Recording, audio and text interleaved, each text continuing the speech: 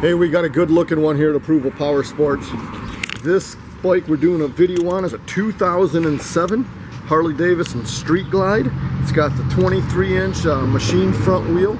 It's got uh, custom fender on it. This is one good looking bike guys. Got the dual Rinehart exhaust. Uh, these Rineharts sound great on this. So it's a six speed. Uh, this thing is cool. It's got the mini apes on it. It's got the bags, upgraded speakers. One good looking Street Glide. It's got the blacked out front end. Um, Screaming Eagle air intake. Uh, the video and pictures aren't going to do this one justice. You guys can't go wrong with this.